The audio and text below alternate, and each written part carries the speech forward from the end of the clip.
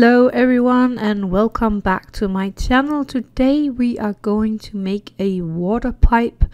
This is a wish from a friend of mine so I went on AliExpress and I found few beads here and there and I found this one. I thought it was great for the body of the water pipe so I just first of all painted this one in a silver metal paint.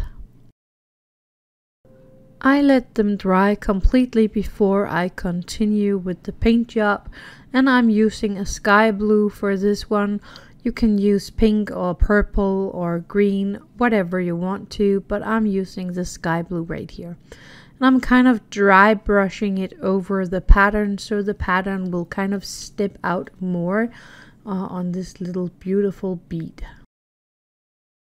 Let the paint dry before you continue. I am first of all going to take them off this where I have placed them for drying. And then for one of these I am using an eye pin then I am using a bead.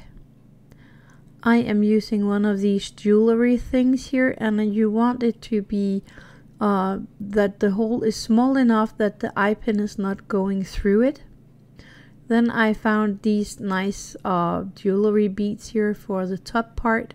top part. And another tiny jewelry bead here for the uh, mouthpiece.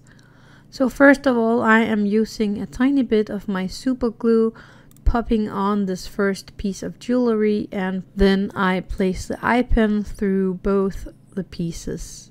And I'm making sure that the eye pin will stay in place. Make sure the glue has a little drying time so everything will stick together and be careful with your fingers that you don't glue them together with something here. I'm just holding it very firm and very nice.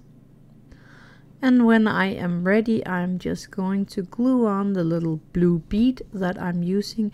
Again, if you colored your um, water pipe some other color, you need some other color of of bead here.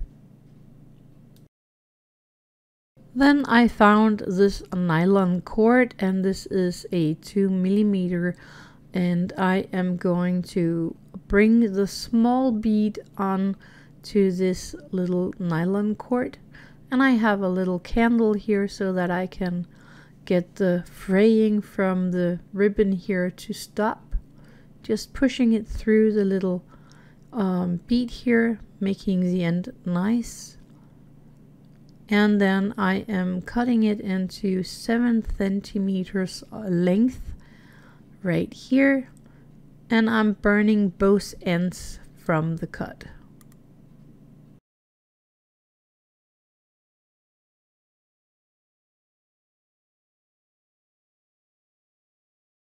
I don't know if you saw that, but I did glue the bead in place so that it will not shift in any time of day.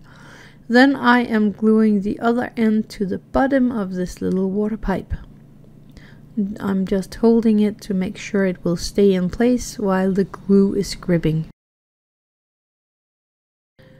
I then cut the eye pin into a length that I like so that I still have a tiny bit for the last bead to grip on, but not more than that. And I glue the last bead or jewelry pieces here on top of the thing, just like this, and I'm holding it.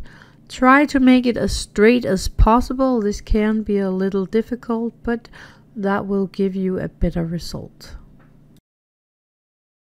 And this is all there is to this water pipe. I had a lot of fun with this one and I hope you will enjoy it as well. Thank you for watching and see you next week. Happy crafting!